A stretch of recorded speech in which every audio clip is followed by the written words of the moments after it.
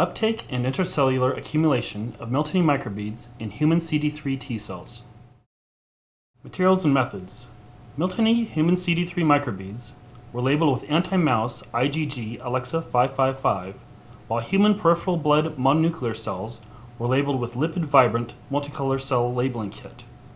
This kit stains the lipid membrane blue. Cells were seeded onto glass cover slips, and Miltenyi microbeads were let to sediment onto the cells. Live imaging of cells was performed using the Andor Revolution spinning disk and rendered using the Imaris software suite. Here we see peripheral blood mononuclear cells prior to exposure to Miltenyi human CD3 microbeads. However, once the Miltenyi microbeads are added, binding and uptake of the microbeads in pink can be tracked using confocal microscopy. The cells and Miltenyi microbeads can be easier visualized using isosurface imaging.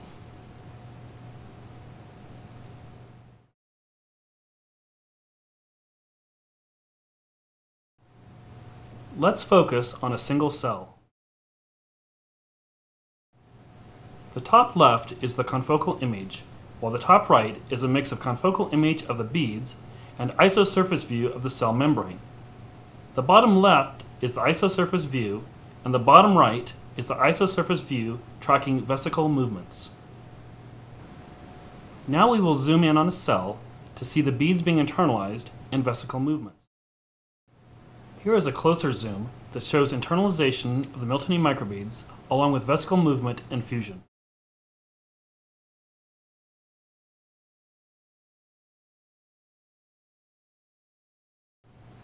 The same experiment was repeated using a Dynabead FlowComp CD3 kit.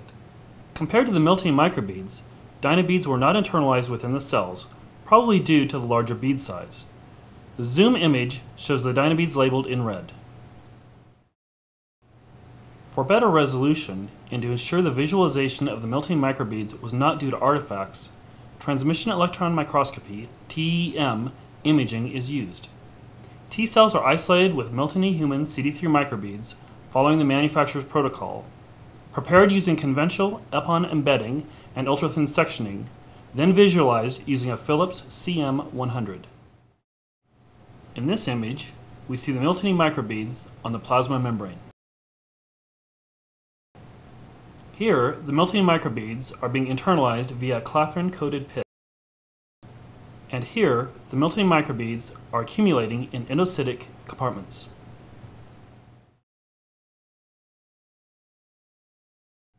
Here, the arrows demonstrate movement of vesicles containing the Miltenyi microbeads.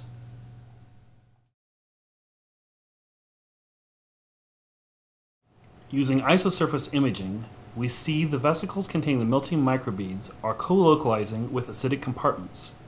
Acidic vesicles are labeled with lysotracker green, and yellow color indicates co-localization with the Miltenyi microbeads.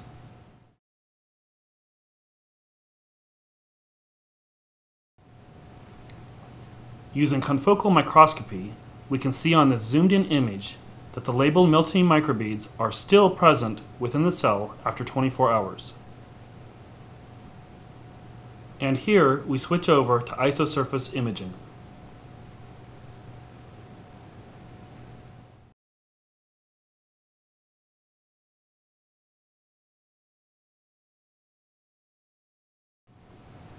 Compared to Miltenyi microbeads, Dynabeads are not found within the T cells after 24 hours, primarily due to the Dynabead release mechanism.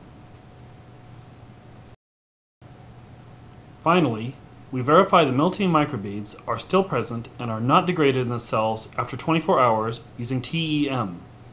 T cells are again isolated with the Miltenyi human CD3 microbeads, prepared using conventional EPON embedding and ultrathin sectioning, then visualized using a Philips CM100.